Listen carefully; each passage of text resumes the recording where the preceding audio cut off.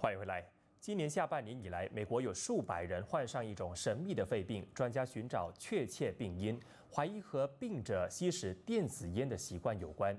美国疾病控制与预防中心公布一项新的研究说明，劣质 THC 电子烟产品中存在着维生素 E 醋酸酯，可能是导致美国出现两千多例神秘肺病和三十九例死亡个案的原因。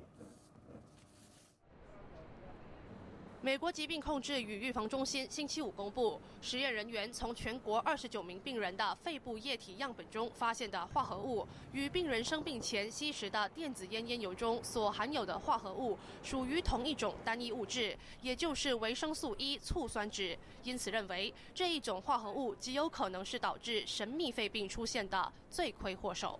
Now that we found vitamin E acetate in the lung, in the lung fluid. Um, this is really going to help us narrow the investigation and move it forward. There's more testing that needs to be done. And this was only the first set of uh, samples that they received.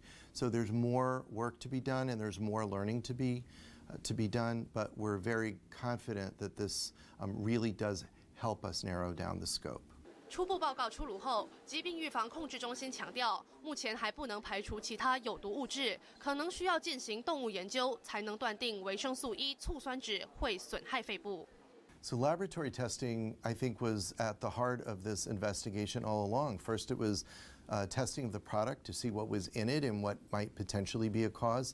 And now, of course, the laboratory testing done at CDC to see what's actually in people. And that's, that's really what matters. We want to ensure that uh, it's, it's, the, it's done right. But you know, with many aspects of this investigation, it's been focused on the laboratory, and without the lab, um, frankly, you're guessing.